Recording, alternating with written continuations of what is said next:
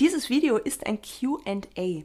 Ich hatte ja vor ein paar Wochen mal im Community Post gefragt, ob es irgendwelche Sachen gibt, die dich total interessieren, auf die du aber noch keine Antwort gehört hast. Diese Fragen möchte ich im heutigen Video beantworten. Es ist nämlich einiges Interessantes dabei. Ich bin Katja Reinbold, ich bin Flötistin und Flötencoach. Nach einem kurzen Intro geht sofort los.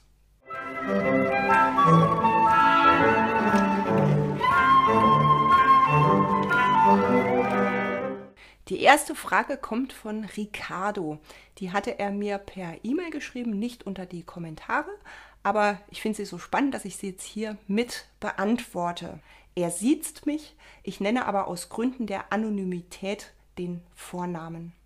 Er schreibt: Sehr geehrte Frau Reinbold, ich habe mir oft die Frage gestellt, warum ich die Klappe des kleinen Fingers der rechten Hand offen lassen muss bei den meisten Noten. Schon als ich nur eine Yamaha 5 besaß, stellte sich die gleiche Frage. Tatsächlich hört man keinen Unterschied im Ton, ob ich die Klappe offen oder zulasse. Ich denke, es hindert eher ein schnelleres Wechseln der Noten beim hohen Tempo. Darf ich diese Klappe ab und zu mal ignorieren oder bin ich schwerhörig? fragt er. Ich bin kein Konzertflötist oder professioneller Musiker, ich spiele als Spaß und liebe die Musik. Deswegen die endgültige Frage, ist es eine musikalische Sünde, diese Klappe nicht so genau zu benutzen? Ich bedanke mich ganz herzlich für eine Antwort Ihrerseits. Diese würde mir eine langjährige Frage endlich beantworten. Ich würde gerne vorschlagen, es als Thema für ein zukünftiges Video bei Ihrem YouTube-Kanal. Warum muss man diese Klappe nutzen? Ich wünsche Ihnen ein schönes Wochenende. Freundlichen Grüßen, Ricardo. So, das war jetzt eine lange Mail, aber eine gute Frage, weil das liegt wirklich auf der Hand. Man drückt immer diese CIS-Klappe und hört wirklich wenig Unterschied im Klang. Also laut Theobald Böhm gibt es tatsächlich einen akustischen Hintergrund für die ganze Sache. Es sollen unterhalb des gegriffenen Tones alle Löcher offen sein und die Diskklappe öffnet ja die Klappe, sie schließt sie nicht wie die meisten anderen und aus diesem Grund soll man die Klappe gedrückt halten. Es ist schon so, dass bei den meisten Tönen kein klanglicher Unterschied zu hören ist, aber relevant wird es wirklich beim E. Das hört sich ohne die gedrückte Diskklappe ganz scheußlich an.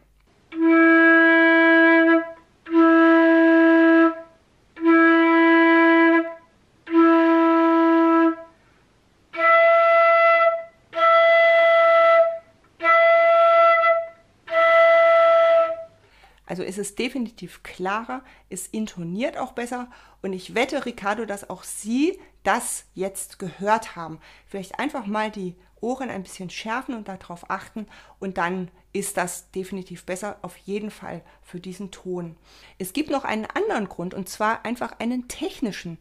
Das Drücken der Diskklappe stabilisiert die Flöte. Ne, dadurch hält sie einfach ein bisschen stabiler in der Balance, die ja sowieso bei uns ein bisschen schwierig ist, dadurch, dass unsere Achsen nach innen immer ziehen, ist es durchaus angenehm, hier den kleinen Finger drauf zu haben. Es gibt natürlich zugegeben ein paar Griffwechsel wie DE, wo Vierter und Fünfter sich abwechseln. Die sind dann nicht mehr so angenehm zu spielen. Das wäre einfacher, wenn der kleine Finger nicht wäre. Dafür klingt das E halt einfach besser.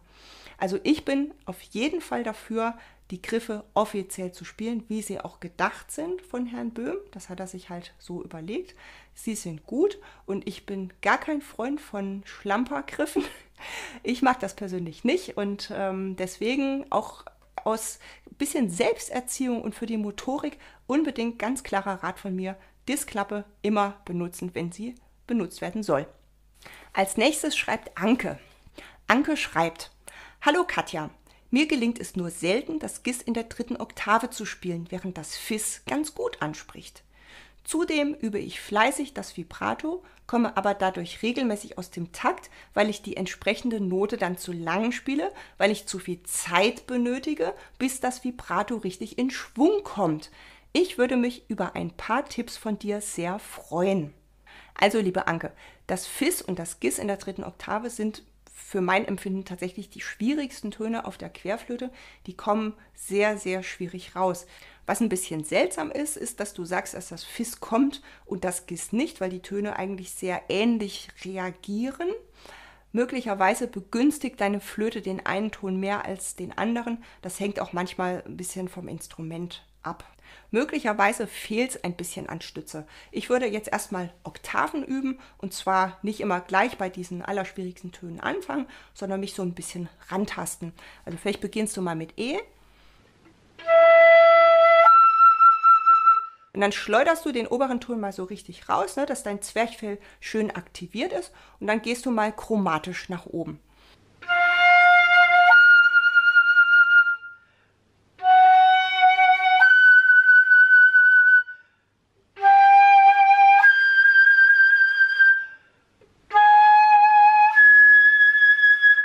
So, und dann probierst du es mal auf diese Weise, mal so ein kleines bisschen mit Power den oberen Ton rauszubekommen. Vielleicht reicht das ja schon. Du kannst aber auch dir das noch ein bisschen schwieriger machen, indem du den Griff der Mittellage in die obere Lage überbläst. Dann musst du prinzipiell auch ein bisschen mehr machen von der Stütze.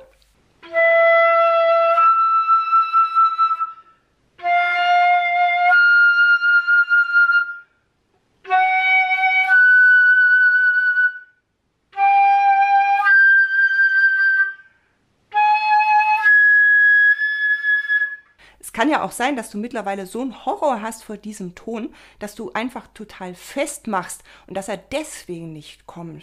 Du kannst deinem Ton auch noch die Ansprache erleichtern, indem du rechts mit dem dritten und vierten abdeckst. Dann steht der Ton ein bisschen besser und spricht auch leichter an. Vielleicht hilft dir das ja.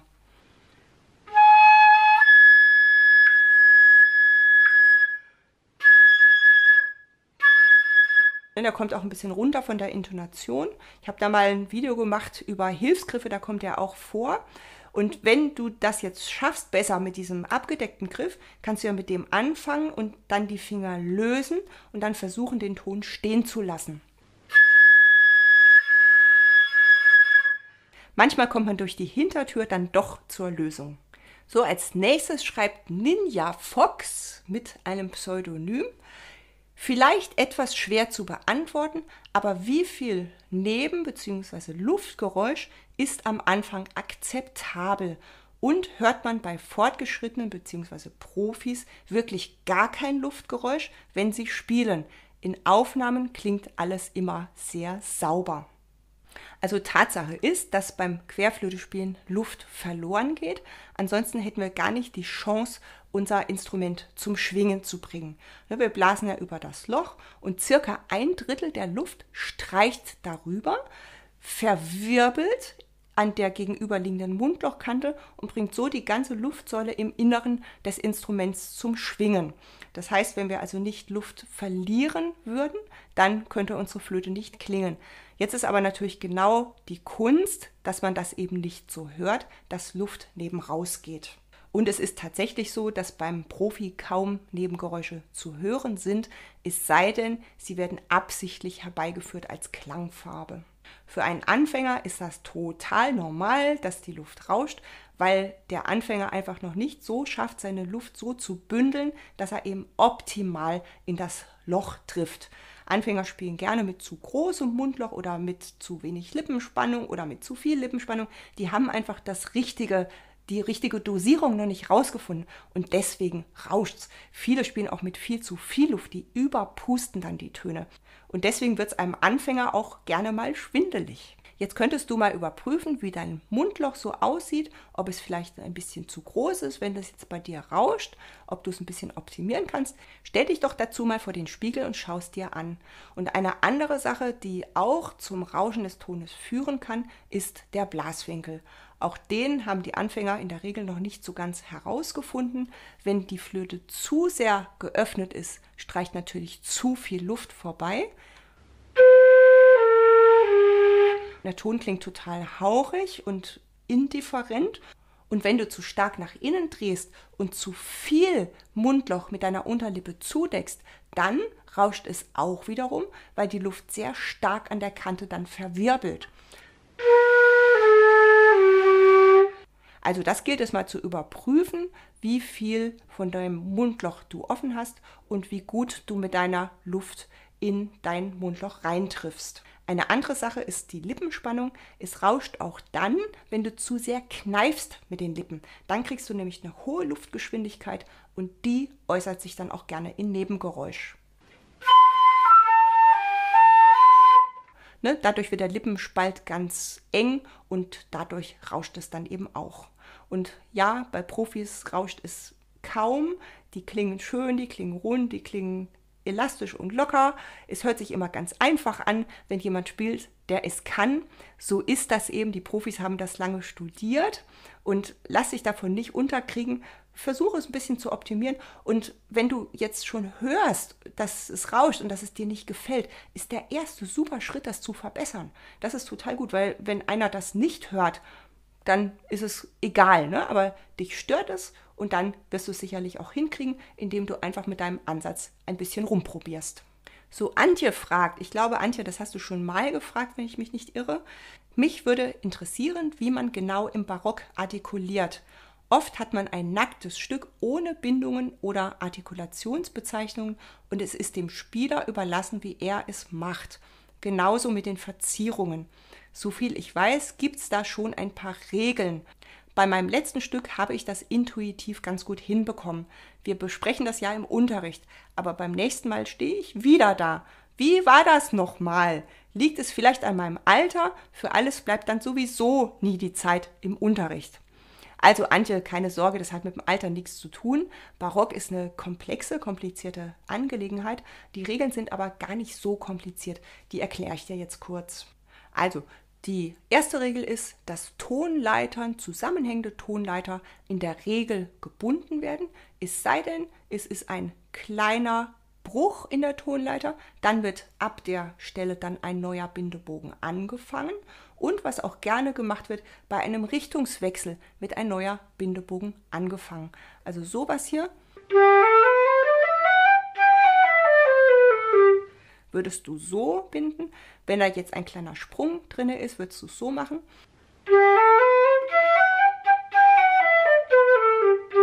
Große Sprünge werden auf jeden Fall gestoßen. Das haben die früher auf ihren alten Flöten gar nicht hingekriegt. Das ist der Hauptgrund dafür.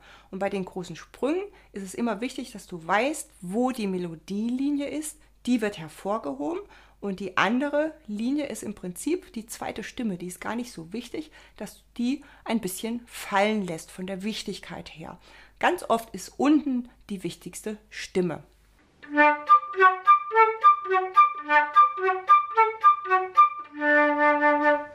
Ne? Der obere Ton klingt sowieso, auf den muss man sich nicht sonderlich konzentrieren. Wichtig ist die untere Linie, dass der Ansatz dafür schon eingestellt ist, dass die Linie schön herauskommt. Und niemand würde so einen Sprung im Barock oder in der Klassik binden. Was auch eine Figur ist, die im Barock und auch in der Klassik viel vorkommt, ist die Wechselnote. Und Wechselnoten werden immer gebunden. Auch sie sind im Grunde eine zweite Stimme. Die Hauptstimme ist meistens auf der 1, wenn wir jetzt Sechzehntelgruppen haben, ne, die erste Note einer Vierergruppe ist dann die betonte und die wichtige und das andere ist nur Füllmaterial.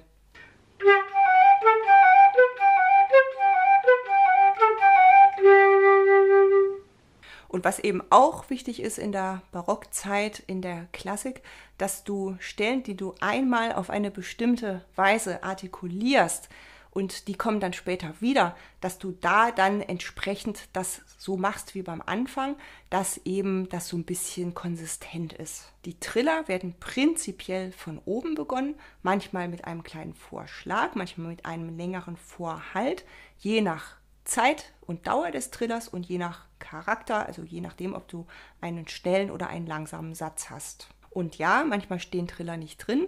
Das ist dann oft so, dass am Schluss, bevor wir die Zieltonart erreichen oder auch die Dominanttonart beim Ende eines ersten Teils, da sind dann die sogenannten Kadenztriller, um diese Zieltonart zu unterstreichen.